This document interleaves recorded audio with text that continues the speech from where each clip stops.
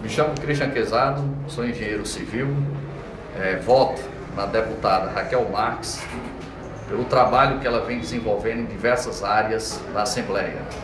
Né? Área social, na educação, ah, na saúde, de forma que é uma luta incansável e que o povo cearense com certeza terá melhores dias em função desse trabalho.